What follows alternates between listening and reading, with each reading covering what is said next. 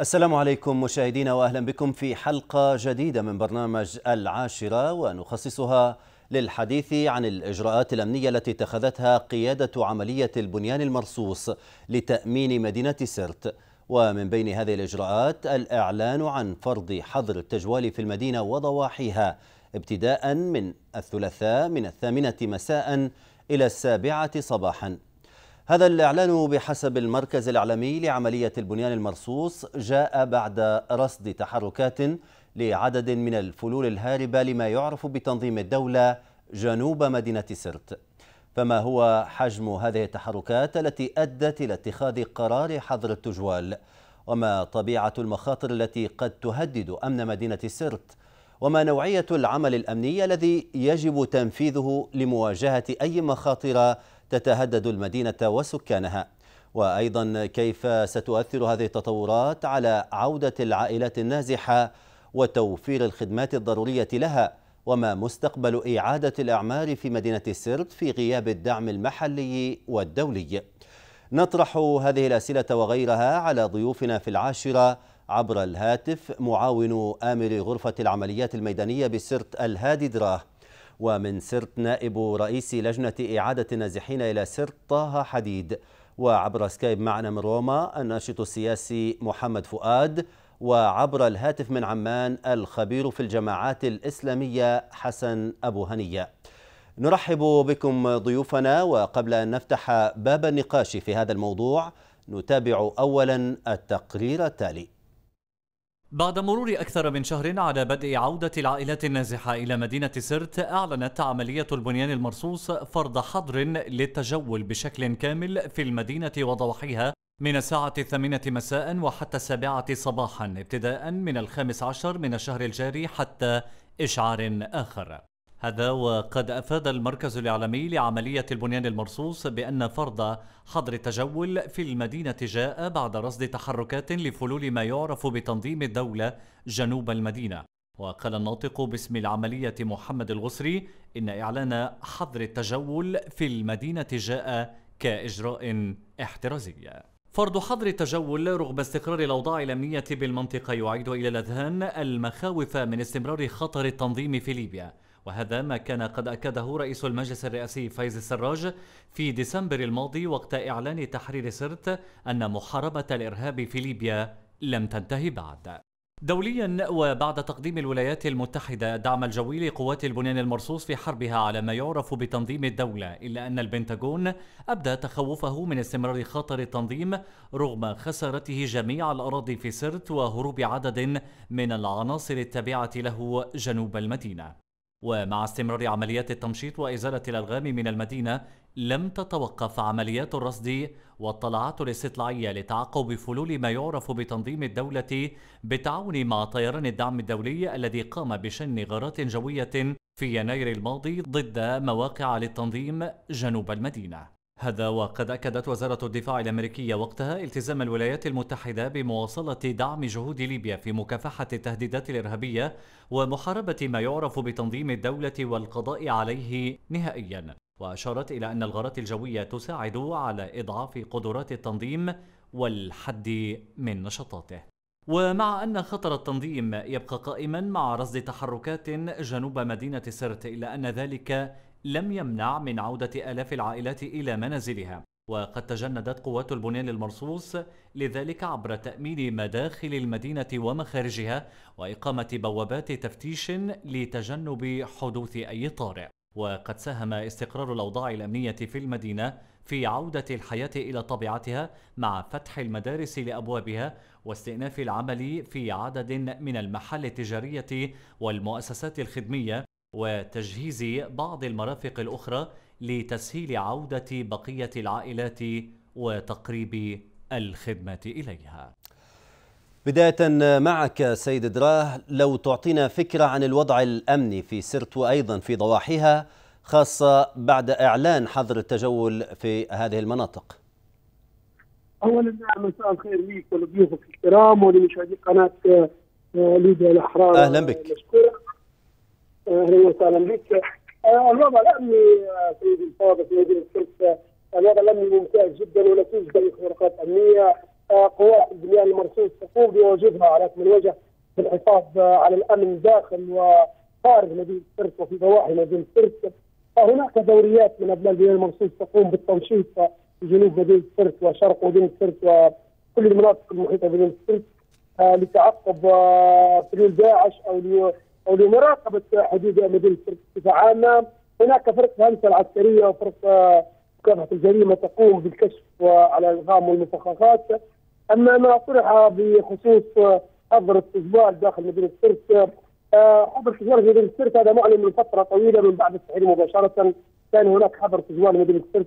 نظرا للمدينة ما زالت في حاله حرب في تلك اللحظة وما زال هناك بقايا من الدواعش والغام والموافقات وما زال مستمر إلى هذه اللحظة. الآن التجوال من الساعة الثامنة إلى الساعة الثامنة باستثناء الحالات الإنسانية، الحالات المرضية أو بعض أفراد البنيان المرصوص عندما يتنقلون من موقع إلى موقع أو من بوابة لبوابه ولله الحمد إلى حد الآن لم لم لم تحدث أي اختراقات أمنية باستثناء بعض المشاكل بعد عوده بعض العائلات إلى مدينة سرت بعض المشاكل اللي تحدث في كل المدن الليبية. هناك جهاز اللجنة الغرفة الأمنية المشتركة قائمة بواجبها على وجه تحدثت عن وقوع بعض المشاكل سيد دراه واعذرني المقاطعه، أي نوع من المشاكل هنا تقصد؟ أقصد المشاكل حتى المشاكل العادية اللي تحدث بين كل أسرة وبين كل منطقة، إذا يعلم الجميع إن أهالي مدينة سرت كانوا مهجرين، هناك من رجع من منزله مدمر وهناك من رجع من منزله محروق من قبل الدواعش، هناك من رجع وجد أساس منزله مدمر أيضا، فهذه الحاجات وهذه الأشياء والغربة اللي تتعرض لها أهالينا في مدينة سرت قبل أن يقوموا بالجانب المخصوص بتحريرهم عند العودة الكبت والمشاكل تحدث كل المشاكل في كل مدن ليبيا مشاكل جيران اختراقات تجاوزات شباب هذه المشاكل البسيطة اللي تحدث لا أكثر ولا أقل. ولا توجد أي مشاكل امنيه إلا الحمد لله رب العالمين. طيب قبل نذهب إلى ضيوفنا الآخرين هناك أيضا نقطة أخرى نود أن نستوضح بشأنها يعني حتى نخوض نقاشنا في هذا الموضوع منذ إعلان تحرير سرت ما زالت عمليات الاستطلاع مستمرة فوق المنطقة الوسطى ما حجم وطبيعة المخاطر التي تم رصدها في في محيط مدينة سرت خاصة وأن الإعلان عن حظر التجوال بدءا من الثلاثاء تم تسبيبه برصد تحركات لبعض الفلول الهاربة لما يعرف بتنظيم الدولة. حربنا أخي الكريم حربنا مع داعش. لم تكن حرب على الأرض كما ادليت بالتصريحات السابقه لم تكن حرب بامتلاك حرب. إنما كان الغاية والغرض من حربنا هو تدمير قوات داعش والقضاء عليها نهائيا حتى لا تهرب. والدليل ذلك لم نترك لهم خلال فتره الحرب. كما نشر مثلهم ممر امن للخروج خوفا من أن يلتجوا إلى بعض المدن المجاورة. ولكن هناك بعض جيوب داعش الفارة أو اللي أتت من مدن أخرى من الجنوب الليبي وتسللت إلى المنطقة. بكل تأكيد هناك خوف من تواجد تنظيم الدولة. هو تنظيم الدولة اطلق على الدولة تنظيم منظم وتنظيم قوي. والدليل على ذلك ما ما يفعلون به الآن في الموصل وفي العراق القوات الأمريكية لن تستطيع القضاء عليهم نهائيا. كذلك بقوات المرصوصة اللي صاحبه الإمكانيات البسيطة وبالأسلحة التكنولوجيا القديمة. قضت عليهم واصبحت الآن تطارد في الصحراء. طيب. ما فيش مشكلة لما نطاردهم أو لما ندير عمليه الوقاية خير لأبنائنا السرت حتى لا ترجع من جديد قوات داعش. طيب سيد أبو هنية رفع حالة التأهب ومستوى التحركات الأمنية في سرت وأيضا إعلان حالة حظر التجوال ليلا. يعني يدفع إلى الواجهة بالسؤال عن كيفية الحفاظ على المكاسب الامنيه التي تحققت في سرت وضمان عدم عودة التنظيم إلى المدينة أو سيطرته على أراضي أخرى في ليبيا. ما الطريقة المثلى برأيك لمواجهة تنظيم بهذه المواصفات؟ أعتقد هناك جملة من الإجراءات المركبة نعلم كما قلنا مبكرا بأن عملية الإخلاء وهي السيطرة المكانية على سرت هي تعتبر ربما تكون على الرغم من صعوبتها لكن ربما هي يجب أن تكون مقدمة لعمل إعادة اعمار وبالتالي عمل استخباري. بالتأكيد هي تأمين المنطقة ليس بالسهولة. مع وجود تنظيم متمرس في عرض الإصابات. لأنه قلنا بأن هذا التنظيم سرعان ما يتحول من حروب السيطرة المكانية إلى حروب العصابات وبالتالي يعيد بناء نفسه في منطقة جنوب سرت وبالتالي يعيد التواصل مع بقية الأعضاء أو الخلايا الموجودة في مناطق متعددة. وقد يحاول الكرة ومحاولة السيطرة لاحقا لكن بالتأكيد هذه الإجراءات إذا ربما السيناريو الأكبر هو شن عمليات انتقامية عبر إما سيارات مفخخة انغماسيين انتحاريين أو عمليات عبوات نسف وغيرها من التكتيكات القتالية التي يستخدمها التنظيم. وبالتالي هذا يتطلب يقظة أمنية وعمل استخباري كبير وعمل بالتأكيد حوارز ومرافقه بعملية إعادة بناء المدينة وبالتالي يعني نزع أسباب التطرف على على المستوى أو على المدى المتوسط والبعيد، لكن الإجراءات السريعة لابد أن تكون الطبيعة أمنية استخباريه ومترافقة من حذر واستعداد لكل هذه التقنيات والتكتيكات التي يستخدمها التنظيم لأن التنظيم في النهاية هو خرج من سيطرته المكانيه لكن عاد إلى تكتيكاته الأساسية وهي حرب العصابات. طيب قلت التنظيم سرعان ما يتحول من حالة السيطرة المكانية إلى حالته الطبيعية وهي شن حرب أشبه بحرب العصابات لكنه ظل لأشهر بعد دحره من سرت لا يشكل أي مخاطر. الآن مسألة رفع حالة التأهب وفرض حظر تجول بعد هذه الأشهر هل يعني بأن هذا هو التوقيت الطبيعي ل يعني عودة أي تنظيم من من انكماشه بعد خسارته إلى حالة الهجوم أو البحث ربما عن تنفيذ مثل العمليات النوعية التي ذكرتها؟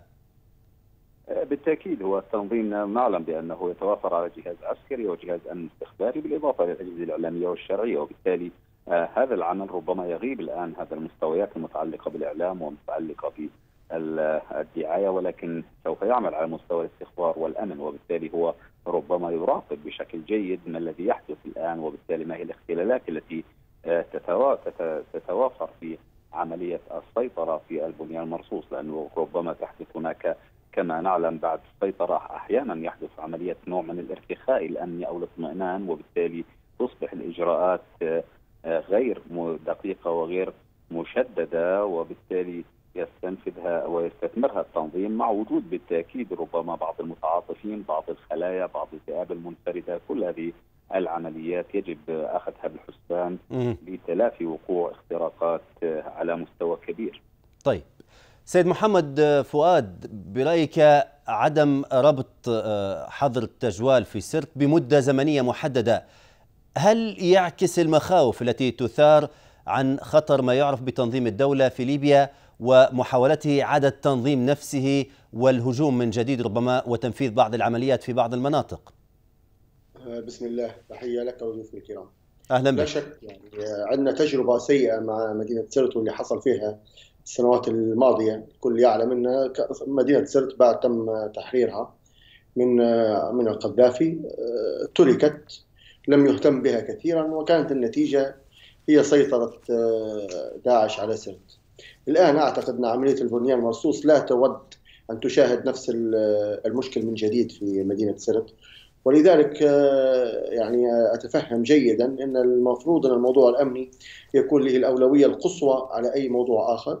وخصوصا أن نحن نعرف أن في قوة أخرى من داعش يعني خرجت من بنغازي. يقولون أنها اتجهت إلى وادي زمزم في قرب بني وليد ولكنها ليست بعيدة عن سرت وربما نشاهد من جديد يعني دخول هذه القوة إلى سرت وأنا كنت أعتقد أكثر إن الأودية الجبلية في في الجنوب هي أكثر أمانا بالنسبة لداعش لأن بعد ما تجربتهم مع سرت أعتقد إنهم لن يكرروا التجربة من جديد. ولكن يبقى الموضوع الأمني كما قلنا موضوع مهم جدا. طيب أعود مرة أخرى إلى السيد راهي لحين تأمين الاتصال مع السيد حديد الذي لم نتمكن من التواصل معه حتى هذه اللحظات. وأسأل هنا سيد راه عن بعض مما تناقلته وسائل إعلام أجنبية تحدثت عن وثائق قالت بأنه تم العثور عليها في سرت وكشفت ربما هذه الوثائق جانبا من استراتيجيات ومخططات التنظيم في ليبيا ما مدى صحة هذه المعلومات؟ آه هناك فعلا يعني آه عندما قامت قواتنا بمداهمة داعش والقضاء على داعش آه دخلت إلى مقرات إلى ادارات هناك وثائق عدة ولكن لا اجزم أن هناك وثائق سرية أو وثائق غير سرية، هناك جهات أمنية سلمت اليها هذه الوثائق وكل هذه الوثائق والإجراءات والمعلومات اللي داخل هذه الوثائق حتطلع في حينها بعون الله بعد تقصي الحقائق فيها ومحاوله الاستفادة منها حتى استفاد منها دول الجوار استفاد منها العالم. إن قوات الهلال المرسوس عندما تضبط وثائق عن عن داعش داعش هو تنظيم عالمي.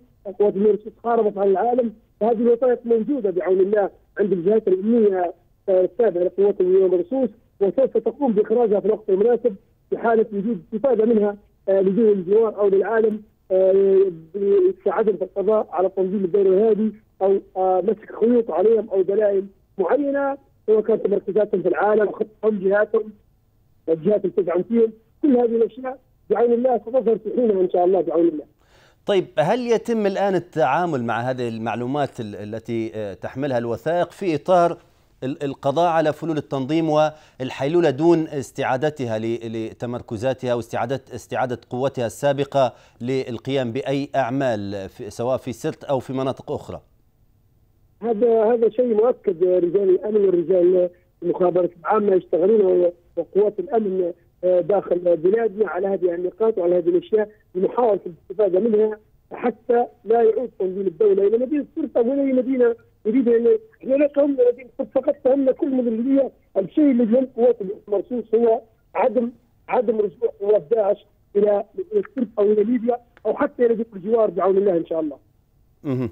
طيب في هذا السياق هل يوجد أي تعاون آه، حاليا مع مع طيران الدعم الدولي مع توفر بعض المعلومات والحديث عن تحركات لفلول التنظيم؟ هل هناك تنسيق ربما لتنفيذ ضربات مشابهة آه، على غرار الضربة السابقة التي نفذها آه، تنظيم آه، طيران الدعم الدولي وأسفرت عن مقتل حوالي ثمانية عناصر من التنظيم؟ طيران الدعم الدولي في الفاضل لا يدعم في مدينة في الأجواء مدينة سرت بينما هو يطارد في داعش في كل في كل المدن الليبية في كل المناطق في العالم في سوريا في العراق. وهذا لأن التنظيم هو تنظيم عدو العالم وليس عدو الليبيين فقط أو عدو البنيان المرصوص فقط. ولكن الطيران الدولي ما زال يراقب في داعش في كل أنحاء العالم وفي كل أنحاء ليبيا في كل الوطن العربي يراقب في داعش. كثيرا يعرف إن مدى قوة داعش ومدى آه العمليات الانتحارية وخطورة داعش في آه العمليات الانتحارية والعمليات الفردية. حتى ولو ولو لم يتجمع داعش فيقوم بعمليات فردية. مما يجعل العالم كله عينه على داعش ويحاول الاستفادة من من قوات البنيان المرصوص والدرس لتنظيم داعش. طيب سيد أبو هنية برأيك ما مدى إمكانية أن يجد التنظيم حاضنة له في مدينة سرت ربما تساعده على تشكيل تهديدات للمدينة أو ما حولها من مناطق؟ بعد أن عايش سكان سرت يعني فترة مريرة كان التنظيم يسيطر فيها على المدينة وبدل فيها شكل الحياة بالكامل في داخل سرت. يعني بعد هذه التجربة التي عايشها سكان سرت هل من المحتمل أن يجد التنظيم حاضنة اجتماعية في وسط مدينة كان يسيطر عليها وتخلصت من سيطرته؟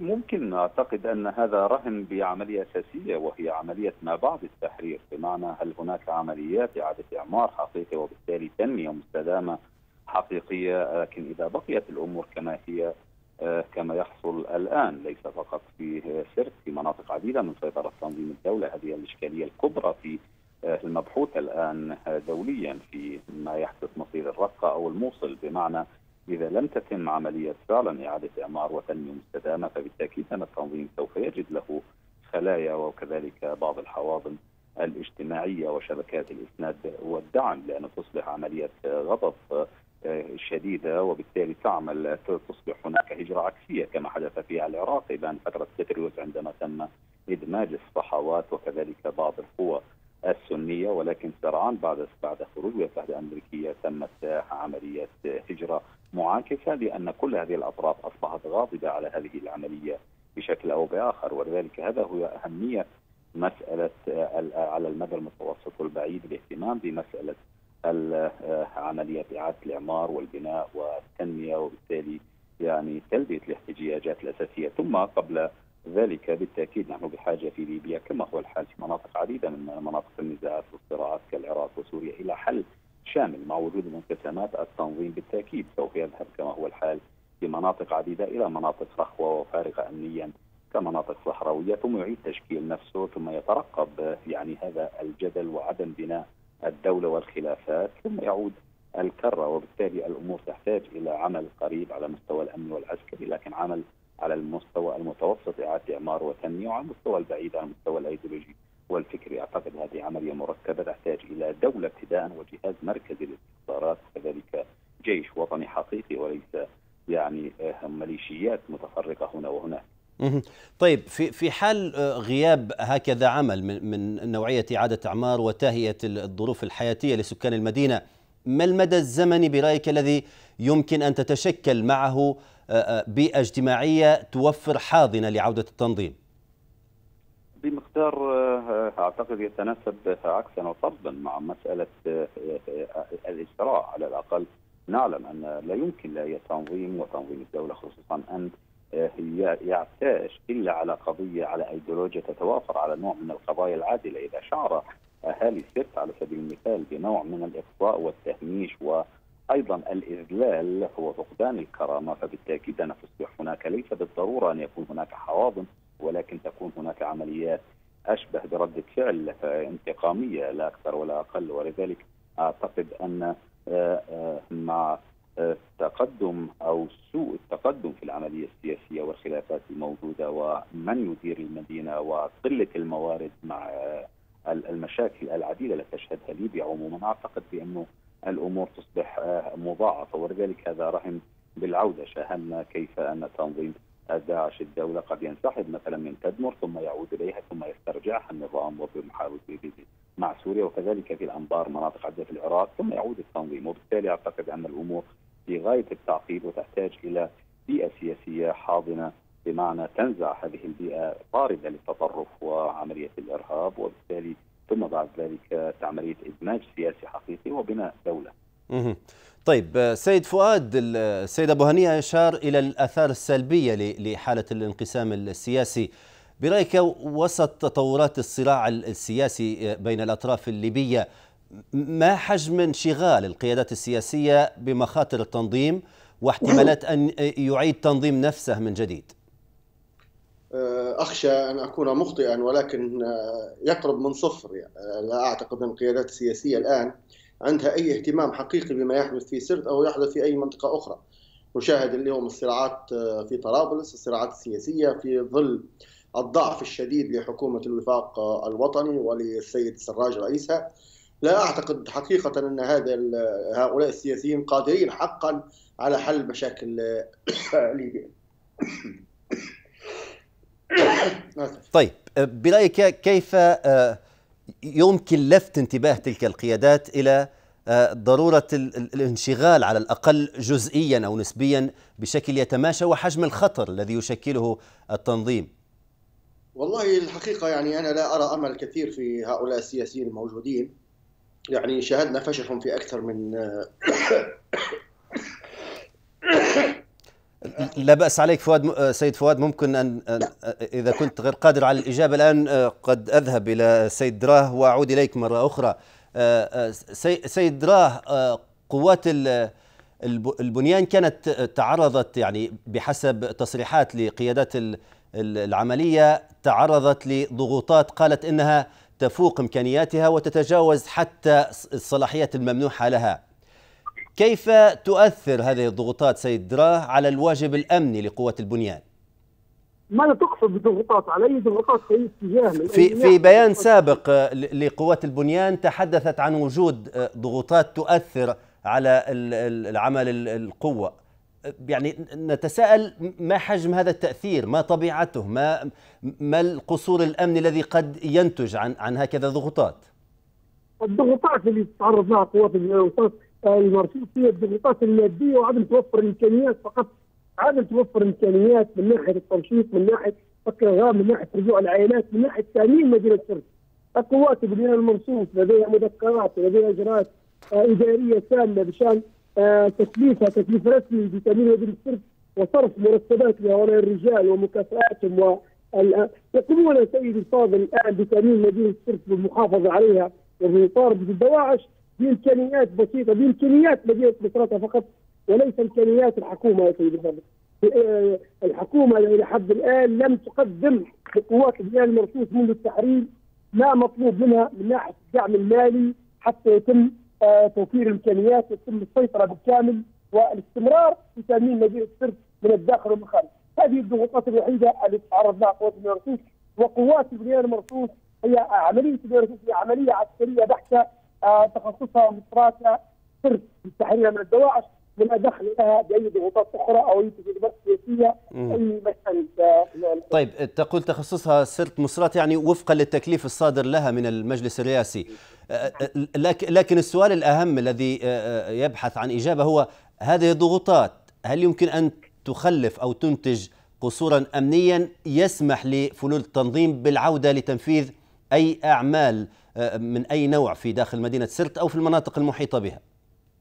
بكل تأكيد بكل تأكيد آه هذه القصور المالي وعدم الانتباه الحكومة آه لهذه القوات كما ذكر ضيف الدين آه الحكومة لم لم تهتم في هذه الفترة الأخيرة بقوات البنيان المرصوص من السرت وكل همه في التدريبات السياسيه سواء في طبرق أو في سرت أو في أي مدينة أو في طرابلس لم تهتم هذه هذه المشاكل اللي تعاني منها قوات المرصوص قد تؤثر سلبا على الامن داخل مدينة سرت وما وما يجعل ثوار وابناء البلاد المخصوص متواجدين الآن في مدينة سرت هو آه 761 شهيد 3000 جريح احتراما لهم. هذا السبب الرئيسي اللي جعل أبناء البلاد المخصوص إلى هذه اللحظة يقومون بتأمين مدينة سرت وعلمت بان كل المؤسسات في مدينة سرت قام أبناء البلاد المخصوص بتفعيلها الجوازات تم بعون الله. الأسبوع القادم سيتم تفعيل مديرية الأمن الجامعة بعون الله. هي الفترة القادمة تشتغل. هذه هذه الأشياء كلها قامت بها قوات البنيان المرصوص بدون دعم مالي بدون أي شيء من الحكومة. والحكومة طيب. لم تنظر لهذه القوات منذ تحرير مدينة طيب سيد فؤاد إذا كنت جاهز للإجابة الآن قد كنت قد سألتك عن الطريقة للفت انتباه القيادات السياسية إلى ضرورة الاهتمام بهذا الملف الامني الملح مسألة التحركات التنظيم واحتمالية أن يعود هذا التنظيم بأي شكل من الأشكال. هو أنا في الحقيقة لست متفائلا بوجود هذه الطبقة السياسية في البلاد وخصوصا حكومة الوفاق يعني. الآن الأمور كما يعلم الجميع في طرابلس نفسها العاصمة سيئة جدا ولا يستطيع المجلس الرئاسي فعل شيء بل ربما هو يزيد الأمور سوءا. فما بالك بمدينة سرت اللي تبعد حوالي 500 كيلومتر عن طرابلس؟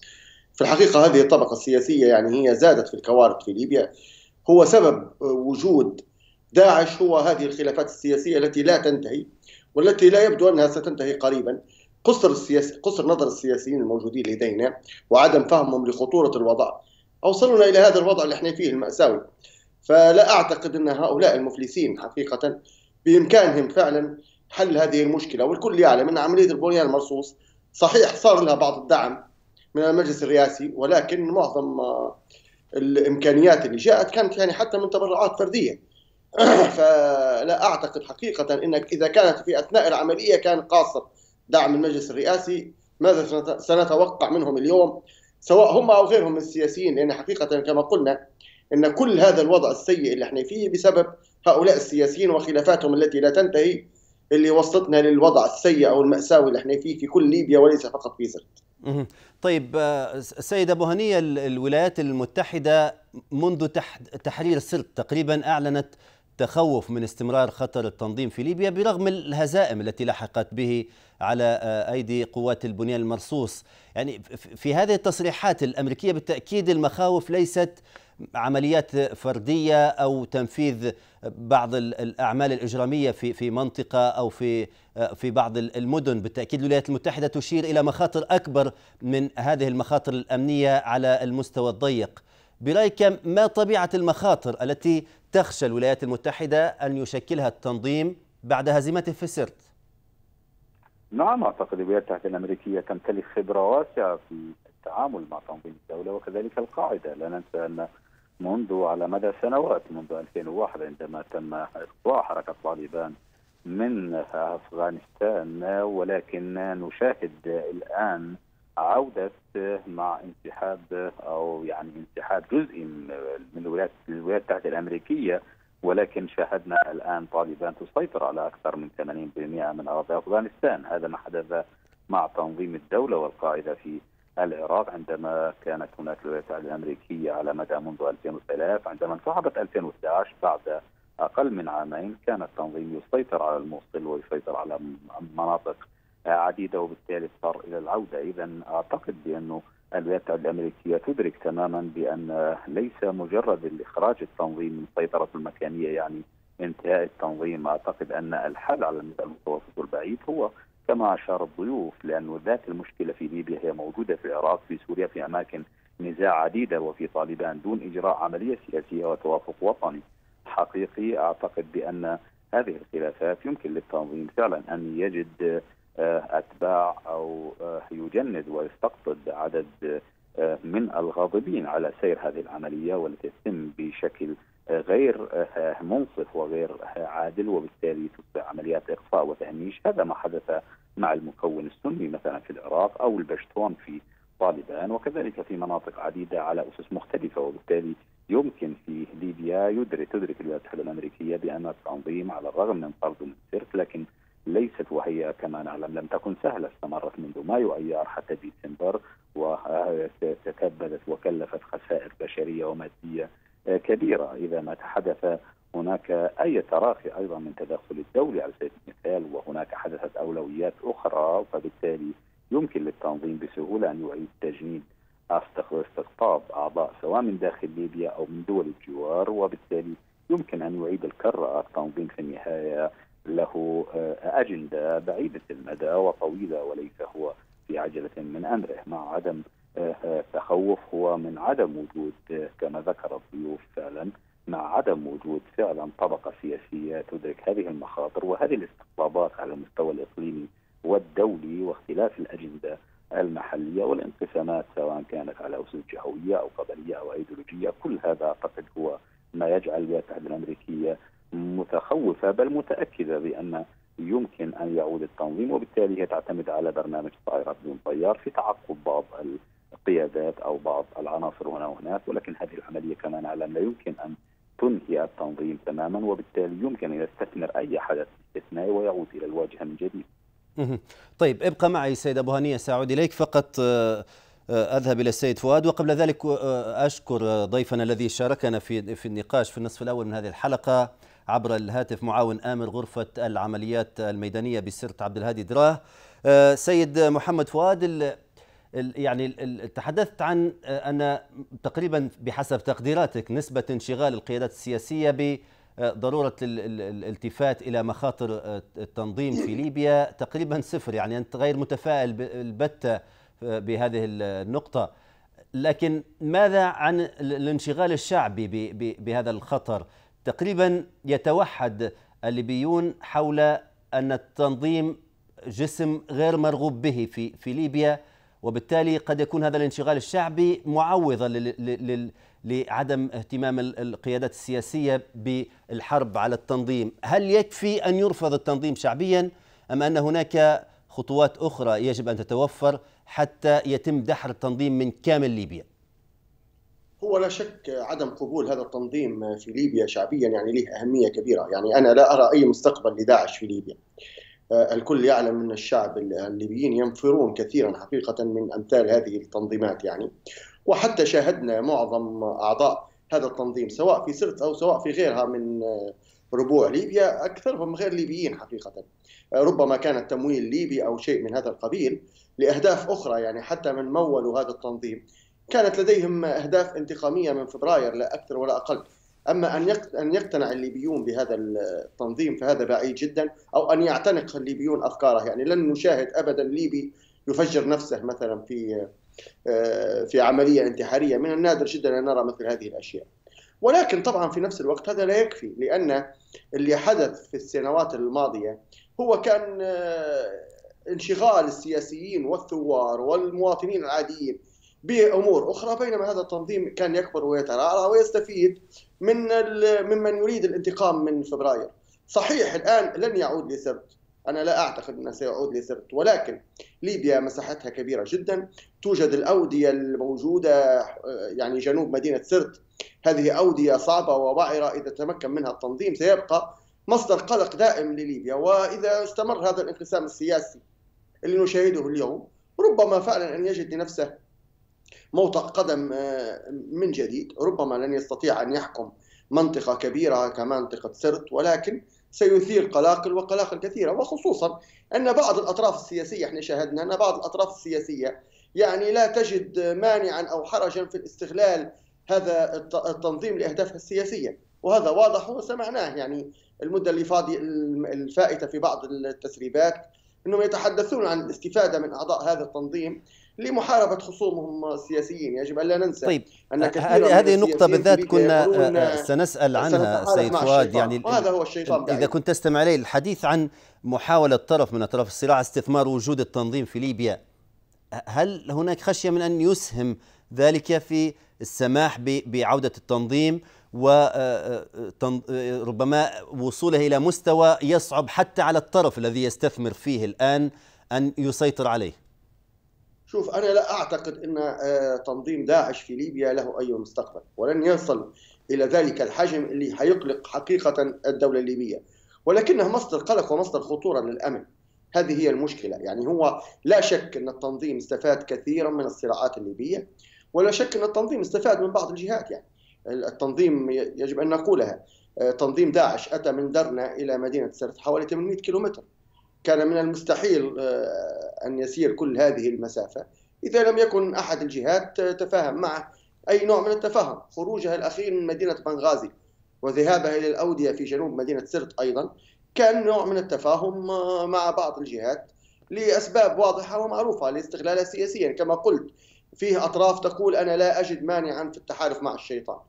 ولكن أن يصل التنظيم إلى أنه يستطيع فعلا أن يفرض أجندة على منطقة كبيرة من ليبيا أو شيء من هذا القبيل فهذا غير متوقع وغير محتمل حقيقة. لا الليبيين يقبلون بهذا التنظيم ولا آه، يمكن لهذا التنظيم في هذه الظروف أن يستطيع فعلا أن يتوغل في الأراضي الليبية أو يسيطر على أراضي كبيرة من الأراضي الليبية. يعني تقول الرهان على الرفض الشعبي لهذا التنظيم. سيد أبو هنية هل يمكن أن يشكل هذا الرفض الشعبي والتعاون بين المواطنين في مواجهة وجود التنظيم. يعني حتى في في غير مدينة سرت آه، آه، سجلنا أن هناك أشبه ما يكون بهبة شعبية عندما تواجد التنظيم في بعض المدن. هبة شعبية حاربت التنظيم و آه، يعني نجحت في دحر التنظيم وطرده من من المدن. فيما يخص المسألة الأمنية التعاون ما بين المواطنين هذا الرفض الشعبي هل سيشكل حاجزا أمام محاولات التنظيم آه، إعادة تنظيم صفوفه والعودة من جديد.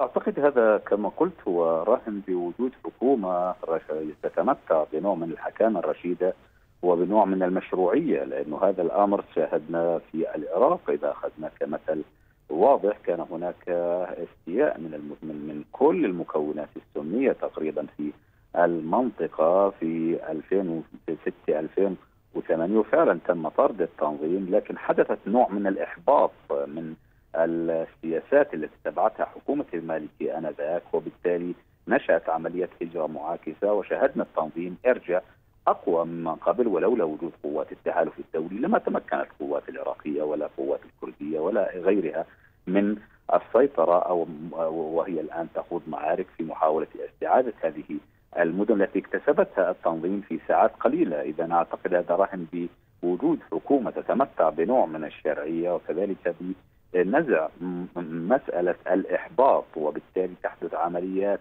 يعني هجرة معاكسة وبالتالي لا يمكن المراهنة على المزاج الشعبي، المزاج الشعبي قد يتبدل نتيجة عمليات سياسية خاطئة وإجراءات من التهميش الاقتصاد كما فعل المالكي وكما فعل الأسد في قمع.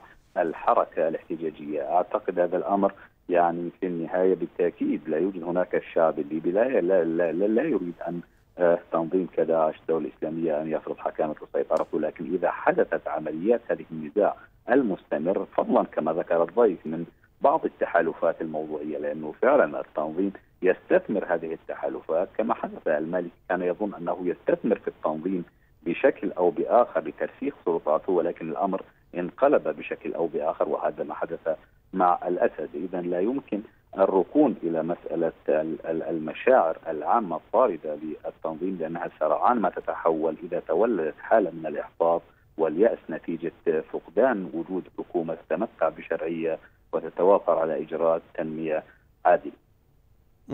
طيب في الحالة العراقية وأنت يعني هنا تضرب مثالا على ما حدث هناك يعني في الحالة العراقية كانت العودة لحالة تطرف تحت مسمى تنظيمي جديد ومختلف هل يعني هذا بأن خطر عودة التطرف في في في, في ليبيا سيكون تحت مسميات جديدة وبقيادة تنظيمات جديدة أم أن هناك فرصة لأن يعود ما يعرف بتنظيم الدولة تحديدا إلى المشهد من جديد في ليبيا؟ كل السيناريوهات مفتوحة لأنه إذا شاهدنا ما حدث قبل أسبوعين مثلا في منطقة شمال مالي جنوب الصحراء والساحل وبين تشاد والنيجر شاهدنا اتحاد أربع حركات منها المرافقون مختار بالمختار وكذلك إياد حاج غالي في حركة أنصار الدين وكذلك إمارة جنوب الصحراء والساحل وكذلك حركة تحرير ماسينا. إذا كل هذه الأطراف التقت في النهاية رغم أنها كانت متضاربة تتوافر على أجندة مختلفة لكنها في النهاية توحدت تحت راية واحدة باسم جماعة نصرة الإسلام والمسلمين. هذه عمليات الاندماجات تحدث بين هذه الجماعات إذا شعرت بأن هناك تهميش وبالتالي كثير من الجماعات ربما تكون بعض الميليشيات أو بعض الجماعات الجهادية التي هي غاضبة. قد تجد في النهاية تتعاون في إطار آخر قد تكون بمسمى تنظيم الدولة مثلا أو أي تسمية أخرى. لا فرق وبالتالي أعتقد يجب الانتباه بشكل أو بآخر حول آه، مسار هذه العمليات لأن التنظيم لا إشكال في هذه التسميات ولكن يمكن أن يعود تحت أي تسمية جديدة. طيب أيضا في الحالة الليبية ما مدى أن تحدث حالة انصهار للفلول الهاربة من من سرت فلول تنظيم الدولة؟ مع آه، جماعات أخرى مع الامتداد الجغرافي الكبير ما بين مدينة سرت وتلك الجماعات الموجودة خارج ليبيا في دول آه، أفريقية أخرى مثل حالة مالي مثلا أو الحديث عن أن بعض فلول التنظيم الهاربة من سرت آه، تتصل بشكل ما أو ربما تتعاون مع جماعة بوكو حرام الموجودة في في أفريقيا. ما مدى أن يكون هذا الأمر واقعيا في الحالة الليبية؟ أعتقد أمر آه، آه، مطروح وهو مشروع وهو حاصل بمعنى أن هناك نوع من التنسيق آه، بطريقة أو بأخرى بين جميع هذه الجماعات رغم أحيانا وجود بعض الاختلافات وبعض التوافقات وبالتالي يمكن لهذه الجماعات أن تتحد في عمل ما وقد تتعاون بشكل أو بآخر. هذا أمر تكرر دائما ويتكرر بشكل دائما وبشكل دائم ولذلك أعتقد بانه الحركات نحن نعلم بأن هناك عودة عودة بشكل أو بآخر، أعتقد أن المقاربات العسكرية والأمنية المتبعة تتبعها سواء المجتمع الدولي والولايات المتحده الأمريكية برهنت عن فشل كبير دون وجود عن مقاربة متكاملة وشاملة تتعلق بالجانب السياسي والأمني والاقتصادي والعسكري، فأعتقد بالنهاية يمكن أن آه، آه، آه، تتقدم ويطرد التنظيم المناطق لكن يمكن أن في النهاية أن يجد أتباع أعتقد بأنه يعني لا تزال المنطقة يعني حبلى بمشاكل عديدة يوجد طيب. هناك للأسف الشديد يعني أي وضوح في يعني نوع من الاستقرار والأمن على المدى المتوسط والبعيد. طيب آه، سيد محمد فؤاد يعني بحسب السيد بوهنية لا يمكن الرهان على المزاج الشعبي الرافض حاليا في ليبيا لوجود ما يعرف بتنظيم الدولة لأن هذا المزاج الشعبي يمكن أن يتغير أو يتبدل في حال آه، آه، إهمال الدولة ومؤسسات الدولة لإحتياجات المواطن في ليبيا خاصة وأن مسألة أن يقوم التنظيم ربما بالعودة في شكل جديد أو تحت مسمى جديد ربما تقرب هذه الفرضية. يعني أنت تعرف جيدا طبيعة الشخصية الليبية. هل هذه القاعدة العامة قابلة للتحقق في الحالة الليبية؟ أم أن الشخصية الليبية مختلفة ولا تنطبق عليها هذه القاعدة؟ هو ما ذكره الضيف الكريم يعني له شقين؟ الشق الأول إنه هو لا يمكن الاعتماد فقط عن المزاج الشعبي وهذا صحيح طبعا. لابد من توعية سواء من لابد من تغطية الموضوع الأمني من جهة هذا موضوع مهم جدا. ومن ناحية أخرى دعم الشعب وايجاد الظروف المناسبة فعلا حتى لا يترعرع هذا التنظيم هذا لا شك فيه. من ناحية أخرى هو الحقيقة أن مزاج الليبي أو الشخصية الليبية بعيدة جدا عن طريقة تفكير تنظيم القاعدة. من الصعب جدا أن تجد يعني ليبيين يستطيعون فعلا ينضمون حقيقة إلى هذا التنظيم. وهذا شاهدناه يعني أمامنا. كانوا أقلية الليبيين يعني ربما لا يتجاوزون 20% وممكن أقل من هذا بكثير. يعني في أسوأ التقديرات كان ممكن أن يصل عدد الليبيين في هذا التنظيم إلى 20% ولا أعتقد أنهم وصلوا حتى ل 10% طبعا ما عندناش إحصائيات. الشخصية الليبية بعيدة جدا عن طريقة التفكير هذه اللي هي طريقة تفكير التنظيم القاعي داعش بالذات يعني. فلذلك حقيقة لا أتوقع أن مهما ساءت الظروف أن ينضموا إلى داعش. هناك طرق أخرى الليبيين يستطيعون أن يعبروا بها عن استيائهم. المشكل الحقيقي هو الفراغ الأمني. يعني مثلا وخصوصا في الجنوب. الجنوب كما يعلم الجميع يعني شبه خالي من السكان الآن. جزء كبير من السكان هاجر إلى إقليم طرابلس بسبب الظروف الأمنية وبسبب الظروف الاقتصادية الصعبة في هذه الأيام وبسبب إهمال الدولة الكبير لهم. فجعل مناطق شاسعة في الحقيقة في ليبيا يعني لا يوجد بها أحد ويمكن بكل بساطة لتنظيمات عابرة للحدود أن تسيطر على مناطق في تلك في في الجنوب الليبي. هذا لا يتخوف منا حقيقة. وليس إن انضمام الليبيين لعملية لكن أنت ربما ذكرت واعذرني المقاطعة سيد فؤاد هنا نقطة مهمة يعني حركه حركة النزوح التي تحدث نحو من منطقة إلى منطقة نتيجة نقص الخدمات وسوء الأوضاع في في المنطقة الأولى. عندما تتشابه الحالة حتى في في الوجهة وجهة النزوح وتصبح كل الطرق مسدودة أمام المواطن للحصول على المستوى المرضي من الخدمات. ألا يمكن أن يولد هذا ردة فعل تتناقض حتى مع طبيعة الشخصية الليبية؟ لا يعني إحنا شهدنا ست سنوات الآن الظروف في الجنوب كمثال يعني سيئة جدا. ورغم ذلك يعني شبه لم ينضم أحد للتنظيم بسبب اما سواء لأن كان هناك بديل واعذرني المقاطعة سيد فؤاد. ربما لأن الحل البديل كان متوفر في النزوح إلى مناطق تكون يكون فيها مستوى الخدمات أفضل من المنطقة الأصلية للنازح. لكن عندما تصبح الحالة عامة حالة سوء الأوضاع المعيشية في البلاد ألا يمكن هذا أن يخلق ربما تحولا جديدا غير مسبوق أو غير موجود في السابق؟ هو لا أحد يستطيع أن يتوقع كل شيء حقيقة. يعني إحنا نقول إنه هو بعيد عن عن الحدوث. احتمال ضعيف حقيقة إن الليبيين يتوجهوا إلى هذا التنظيم. يعني أي ليبي يعرف إن هذا الفكر يعني مرفوض جدا من الليبيين. يعني من الصعب جدا أن يقبلوا به. هذه حقيقة. ولكن طبعا الأحداث علمتنا إن ممكن أي شيء يحدث. وخصوصا الأوضاع فعلا في ليبيا أصبحت كارثية ليس فقط في الجنوب بل في كل ليبيا. أنا لا أتوقع ذلك. ولكن اللي أتخوف منه أكثر من انضمام الليبيين لهذا التنظيم هو هو انتشار التنظيم أو انتشار عناصر هذا التنظيم اللي يأتوا من الخارج في المناطق اللي هي فيها فراغ أمني وسياسي واقتصادي بل وحتى سكاني كبير جدا في المناطق الجنوب والكل يعلم إن السيطرة على هذه المناطق الشاسعة شبه مستحيل يعني. من السيطرة عن إذا فعلا استطاع التمكن التنظيم من دخول هذه المناطق يبقى طرده من ليبيا مشكلة عويصة وخصوصا أن الجيش الليبي الآن غير موجود.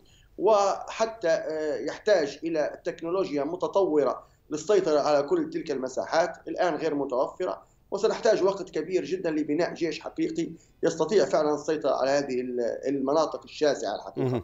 وحدودنا الطويلة جدا مع الدول الأفريقية يعني شيء مقلق حقيقة إذا استمر هذا الوضع. هذا الكلام المفروض أنه يوجه للسياسيين الليبيين اللي هم في الحقيقة مشغولين بأمور أخرى بعيدة تماما عن الأمن القومي لليبيا. طيب سيد أبو هنية مع الحديث عن استفادة التنظيم من مسارات الهجرة غير النظامية خاصة وأن هناك تقارير تتحدث عن أن التنظيم يسيطر على جزء كبير من هذه المسارات ويستفيد ماديا منها. في حال مواجهة مشكل الهجرة غير النظامية هل يمكن اعتبار هذه ضربة أخرى توجه إلى التنظيم؟ ما مدى حجم الخسارة التي تلحق بالتنظيم؟ متى تم القضاء على مشكل الهجرة غير النظامية بالتأكيد أعتقد بانه لكن هذا يحتاج إلى عمل دولي كبير. يعني يحتاج إلى كما أشار الضيف ليبيا منطقة ممتدة وواسعة جغرافيا. وهناك مناطق صحراوية وبالتالي يصعب السيطرة. عليها تحتاج إلى جيش فعلا وطني مركزي وجهاز استخبارات قوي وتعاون إقليمي وبالتالي تعاون دولي. وبالتالي أعتقد بأنه على المدى المتوسط التنظيم قد يجد بعض الغاضبين يعني دعني نوعا ما أختلف في أنا لا أؤمن بالمزاجات أو بنوع من النمطيات لا شعب من الشعوب. الجيش الشعبي العراقي كسائر الشعوب لم يكن يتقبل بل أنه طرده 2006 2008 من مناطق سيطرته ولكن ما حدث هو عمليات استقصاء والتهميش. مثلا للجيش العراقي بعد حل الجيش وقانون اجتثاث البعث جعل المؤسسة العسكرية اذا فترة حكم صدام حسين تنضم هناك أكثر من 1200 من ضباط القيادات الوسطى والعليا انضموا إلى التنظيم الشبكة الزرقاء في ذلك الوقت وبالتالي شكلوا العمود الفقري لهذا التنظيم ولذلك نحن نخشى دائما من عمليات اي دائما هذه التنظيمات تنشأ في دول فاشلة وبالتالي تنشأ في عمليات غياب الأمن والاستقرار والحكامة والشرعية السياسية ويمكن أن يعيد تموضع في منطقة خطيرة كمان أيضا في الجنوب الليبي مع وجود مناطق جنوب الصحراء والساحل ونشوء هذه التنظيمات. ورغم أن الفرنسيين يبذلوا جهود عملية سيرفال وبرخان لكن مع ذلك نحن نشاهد هناك عودة ما إلى هذه التنظيمات. هناك محاولات أيضا يعني في بوكو حرام وحركات أخرى تتصاعد. أعتقد أن المقاربات العسكرية والأمنية علينا أن ندرك بأنها ليست على المدى البعيد ناجعة قد تفيد جزئيا كما حدث مع طرد التنظيم من سرت أو كما يحدث اليوم مثلا في العراق وسوريا لكن كما حدث من قبل مع طالبان. لكن بالتأكيد علينا أن نكون متأكدين بأن هذه الحركات هي في النهاية تنشأ بسبب ظروف وشروط موضوعية نتيجة فشل واختلالات الكبيرة في الدولة وفي داخل بنية الدولة والانقسامات السياسية والجهوية والقبليه والاختلافات الأيديولوجية وتضارب المصالح الإقليمية والدوليه، كل هذه اعتقد هي ظروف لا تزال حاضرة للأسف الشديد وبالتالي مع مشكلة الهجرة ومشكلة الحركات العابرة للحدود وشبكات التهريب كل هذا التنظيم أعتقد بارع ويمكن أن يستفيد من كل هذا ويعيد بناء نفسه. لا ربما لا يشكل خطر للسيطرة المكانية في ظرف ربما يعني على المدى القريب خلال ست شهور أو سنة لكنه يمكن أن يحدث هجوم ويباغت بهجوم وقد يسيطر على مناطق فارغة أمنية نتيجة الصراعات المحلية. طيب في سياق الحديث عن آليات مواجهة التنظيم إلى أي مدى يعتمد التنظيم فعلا على حركة الهجرة غير النظامية؟ وما حجم الخسارة التي ستلحق به؟ متى تم معالجة هذه المشكلة؟ بالتأكيد لأنه التنظيم يسهل جدا يعني يسهل بشكل أكثر بعمليات الاستقطاب والتجنيد استثمار هذه الحركة الهجرة غير الشرعية وبالتالي استقطاب من جنسيات عديدة في منطقة. أعتقد دائما هناك في المتوسط بحسب الأمم المتحدة ربما غرق أكثر من 5500 شخص بمحاولة الهروب نحو أوروبا. إذا أعتقد التنظيم استثمر هذه الظاهرة وبالتالي وفر نوع من المداخيل والموارد المالية. قد يجد أنصار وأتباع في هذا السياق. أعتقد هذا الأمر يتطلب التعاون ليس على المستوى المحلي. هذه مشكلة كما نعلم عالمية. كما ان مشكلة الهجرة عالمية فمشكلة الارهاب هي مشكلة عالمية. وبالتالي تتطلب استراتيجيات إقليمية ودولية محددة على الجانب العسكري والأمني ثم إجراءات بعيده المدى تتعامل مع مسألة الشرعية السياسية والاستقرار وبناء الدولة وقضية إقامة حكم يعني رشيد. سيد فؤاد في في سياق الحديث عن آليات المواجهة وسبل القضاء على التنظيم، الترتيبات الأمنية الواردة في الاتفاق السياسي متى تم تفعيلها هل يمكن أن تسهم في تحديد الأولويات وبالتالي تجعل من الحرب على التنظيم إحدى هذه الأولويات؟ وأنا كما قلت سابقا حقيقه لا أرى أي أمل في السياسيين الموجودين عندنا. ما نشاهده الآن من محاولة تطبيق بعض الترتيبات الأمنية في طرابلس يعني الكل يشاهد ما يحدث هذه الأيام في طرابلس من من اضطراب للوضع الأمني ومن فقدان الأمن تماما يعني. إلى الآن المجلس الرئاسي على على سبيل المثال له أكثر من سنة فشل في تكوين الحرس الرئاسي اللي هو كان المفروض أحد أول أولوياته في تشكيله إذا كان المجلس الرئاسي سنة كاملة لم يسمي المناصب الأمنية والعسكرية اللي هو المفروض يسميها بعد شهر فقط من استلامها السلطة وإذا فشل في تكوين الحرس الرئاسي بعد سنة. وإذا شاهدناه يحاول تطبيق الترتيبات الأمنية عن طريق ميليشيات. ميليشيات تحارب ميليشيات. فكيف نامل إن هذه الترتيبات الأمنية أو أي شيء آخر يمكن أن يقوم به الرئاسي أنه ينجح؟ يعني هذا بعيد جدا عن الواقع وهذا خيال. في الحقيقة هؤلاء السياسيون يعني عبارة عن مجموعة من الفشل لا يستطيعون تقديم شيء. الشباب هم من ضحى بأنفسهم. وفقدنا أكثر حوالي 700 شهيد حتى نستطيع التخلص من داعش في سرت. هناك أكثر من 100 شهيد في مدينة صبراتة حتى استطاعوا التخلص من داعش هناك بدون أي دعم حكومي. وشاهدنا أيضا في درنا يعني فقدنا أناس من خيرة الشباب في ليبيا لأنه حتى استطاعوا طرد التنظيم من من مدينة درنا. هذا كله بدون دعم لا سياسي ولا اقتصادي ولا أي نوع آخر من الدعم من الحكومات المتعاقبة على ليبيا. هؤلاء الساسة هم فشل بامتياز حقيقة. وضحت الفكرة وبها نصل إلى ختام حلقة العاشرة. نشكر ضيوفنا الذين كانوا معنا عبر سكايب من روما ناشط السياسي محمد فؤاد وعبر الهاتف من عمان الخبير في الجماعات الإسلامية حسن أبو هنية. وأيضا شاركنا النقاش في النصف الأول من هذه الحلقة معاون آمر غرفة العمليات الميدانية بسرت الهادي دراه.